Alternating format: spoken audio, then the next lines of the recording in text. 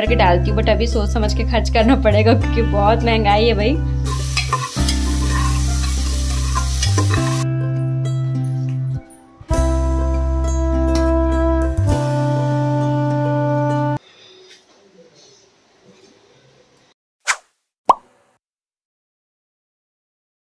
Hello everyone कैसे हो आप लोग? Hope you all are doing great I am Rupa welcome back to my channel so so, आज है सैटरडे और ऑलमोस्ट uh, सबके घर में आज के दिन खिचड़ी बनती है दिन में या फिर शाम में। तो मैं जनरली शाम में बनाती हूँ और uh, तो अभी मैं उसकी तैयारी कर रही थी और अभी शाम में सात बज गए हैं uh, शाम के और अभी मैं अपना ब्लॉग स्टार्ट कर रही हूँ आज का। तो मेरे डिनर में आज क्या क्या होगा? सैटरडे नाइट स्पेशल डिनर में। वो देखने के लिए आपको वीडियो के एंड तक बने रहना पड़ेगा, है ना? तो मेक श्योर टू सब्सक्राइब अगर नए हो चैनल पे तो और लाइक कर देना और शेयर कर सकते हो अगर आपको पसंद आता है तो। तो चलो फटाफट से आज के डिनर की तैयारी करते हैं। गाइस देखिए यहाँ पे मैंने ए, बस एक ही सब्ज़ी ली है आप चाहो तो जितना भी मिला लो। यहाँ पे मेरे पास फूलगोभी थी अभी तो मैंने फूलगोभी लिया है और इसको अच्छे से उबाल लिया है भाप भी आ रहा है गर्म भी है। और ये थोड़े से मिर्च डाले हैं और ये टमाटर। टमाटर तो मैं भर भर के डालती हूँ बट अभी सोच समझ के खर्च करना पड़ेगा क्योंकि बहुत महँगाई है भाई। तो चलो इतनी सारी सब्ज़ियाँ हैं और यहाँ पे देखो मेरा ये चावल है जिसमें मैंने बराबर चावल और बराबर मूंग दाल मतलब जितना चावल लिया उतना मूंग दाल लिया हुआ है। और अभी इसको मैं धो के फुला लूँगी और बाकी की तैयारी चल ये मैंने मैंने चावल धो लिया है। इसको थोड़ा देर फूलने देंगे। और यहाँ पे मेरा कुकर चढ़ गया और मैंने यहाँ पे थोड़ा सा लहसुन भी ऐड किया है और यहाँ मेरा कुकर गर्म हो गया है। तो चलो हम अपना खिचड़ी बनाने का प्रोसेस आरंभ करते हैं। तो मैंने इसमें डाल दिया है सरसों का तेल और इसमें हम डालेंगे, गर्म हो चुका है तो इसमें हम डालेंगे लहसुन और मिर्च थोड़ी सी। गर्म होने के बाद, है ना? और जानते हो आप लोग, मैं कुकर में ही खिचड़ी बनाती हूँ। बहुत लोग हैं जो पतीले में बनाते हैं। मैं भी पतीले में बनाने का ट्राई कर चुकी हूँ बट बहुत टाइम लगता है खिचड़ी पकने में। कभी कभी तो चावल पकता ही नहीं है, गलता ही नहीं है, और जब तक खिचड़ी गले ना, तब तक खाने में मज़ा नहीं आता, है ना? तो यहाँ पर लहसुन मिर्च थोड़े से गोल्डन ब्राउन होने के बाद मैंने यहाँ पर सारी सब्ज़ियाँ डाल दी है। यहाँ पर तो मैंने दो ही सब्ज़ियाँ भी ली है। बाकी बहुत सारी सब्ज़ी यहाँ पे डलती है और सब लोगों को पता है ऑब्वियस ही बात है यार, मुझे बताने की ज़रूरत नहीं है खिचड़ी में कितनी सारी सब्ज़ी डलती है। तो यहाँ पे बस ये सब्ज़ी मेरी थोड़ी सी फ्राई हो गई है, उसके बाद मैं यहाँ पे नमक डालूँगी, हल्दी डालूँ ताकि मेरा जो टमाटर है वो अच्छे से गल जाए और हल्दी और नमक के साथ थोड़ा सा पाँच मिनट और इनको फ्राई करूँगी, ताकि थोड़ा सा फ्राई होने पे ना सब्जियों का टेस्ट उभर के आता है अच्छा लगता है और फूलगोभी ना खिचड़ी में बहुत अच्छे से गल जाती है और उसका स्वाद को डबल कर देती है, ऐसा मुझे लगता है। और उसके बाद अब इसमें डालेंगे हम अपना चावल, फुलाया हुआ, भिगोया हुआ और चावल को हम पाँच से दस मिनट फ्राई करेंगे क्योंकि चावल भुना हुआ चावल का टेस्ट है ना, वो आना चाहिए। तो यहाँ पे उसको फ्राई फ्राई कर देंगे हम सारा पानी सूखने तक। उसके बाद अब हम इसमें डालेंगे पानी और पानी में अंदाजे से डाल रही हूँ। मैंने चावल करीबन दो पाव के लगभग लिया मतलब एक गिलास गिलास में छोटा गिलास चाय वाले गिलास में नापा है। एक गिलास चावल और एक गिलास मूंग दाल और उस हिसाब से मैंने यहाँ पे एक जग पानी डाला है, बड़े वाले जग में। और ऊपर से मैंने एक छोटा गिलास और ऐड किया था पानी बाद में। तो उस अंदाजे से आप बना सकते हो। मैं अपने अंदाजे से बनाती हूँ, ऐसे कोई अमाउंट ये जोड़ करके कैलकुलेट करके नहीं करती।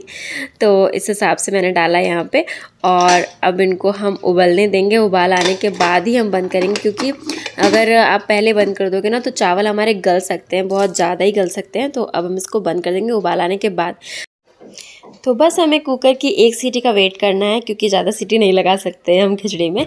और तब तक मैं अपना पूरा प्रोसेस कंप्लीट करने वाली हूँ। अभी फटाफट से आप देखते जाओ। और यहाँ पे मैंने जो आलू उबाल के रखे थे ना, बस उसको, उनको मैं फ्राई कर रही हूँ। जैसे हम आलू पराठा के लिए फ्राई करते हैं, उस तरीके से। फ्राई वाला चोखा मुझे बहुत पसंद है। तो इस तरीके से मैं फ्राई करूँगी। बस उसमें मैंने लहसुन, मिर्च और प्याज का और जीरा का फ़ौरन डाला है। देन मैंने आलू डाल दिया है, नमक डाल करके। और इनको बस फ्राई कर लेना है, तेल छोड़वाने तक, ठीक है? तो बस इनको फ्राई कर लेंगे हम, अच्छे से।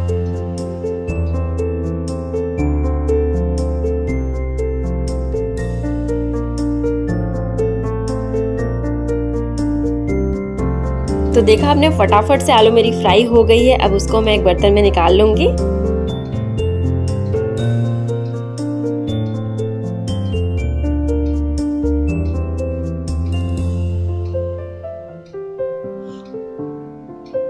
देन मैं अगला बना रही हूँ यहाँ पे बड़ी फ्राई करने वाली हूँ तिलोरी।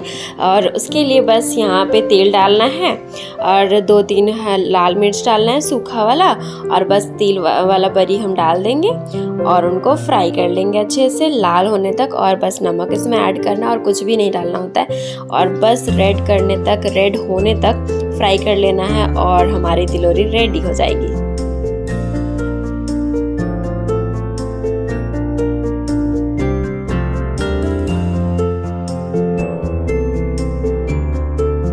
तो देखा आपने, फटाफट से मेरी तिलवरी भी फ्राई हो गई है यहाँ पे।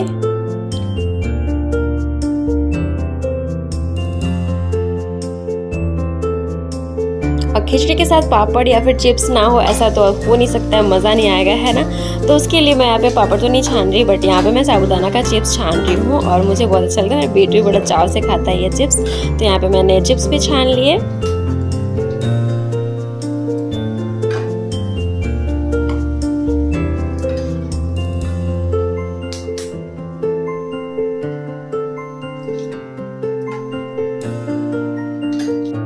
सो so, देखा मैंने कितनी सारी चीज़ें फटाफट से कर ली और यहाँ मेरी खिचड़ी भी रेडी हो गई है। बस एक सीटी लगवाया मैंने उसको और दो मिनट बस रहने दिया और उसको ठंडा करके सी मतलब पानी डाल करके जैसे होता ना लेडीज़ लोगों को पता होगा कि नल खोल कर ठंडा कर लिया मैंने इसका पूरा कुकर को और फटाफट से इसको, इसका ढक्कन निकाल दिया और हमारी खिचड़ी परफेक्ट बन के रेडी हो गई है। अब बस इसमें हम, मुझे डालना है छौका। तो छौका के लिए नॉर्मल सी चीज़ें हैं, तेल लगेगी और तेल की जगह आप घी का यूज़ कर सकते हो। मैं यहाँ पे घी का यूज़ कर रही हूँ क्योंकि खिचड़ी में घी का टेस्ट बहुत अच्छा आता है और आना ही चाहिए। और यहाँ पे मैंने दो बड़े चम्मच घी लिए हैं। देन उसमें हम ज़ीरा डालेंगे, मिर्च डालेंगे, लहसुन डालेंगे, अदरक डालेंगे और अदरक आज मेरे पास ख़त्म हो गई थी गाइस मैंने अदरक नहीं लिया बट आप अगर बनाओगे ना तो अदरक और लहसुन दोनों चीज़ कूच करके डालना बहुत अच्छा टेस्ट आता है। और यहाँ पे बस मैंने बस लहसुन, मिर्च, अदर मिर्च, जीरा लिया है, सूखा लाल मिर्च लिया है, और ये देखो मेरा छौंका रेडी हो गया है, और इसमें हम डालेंगे अपने, इसको हम डालेंगे अपने खिचड़ी में। तो बस ये हमने छौंका इसमें लगा दिया अपना घी का तड़का, और हमारा खिचड़ी आज का डिनर रेडी है।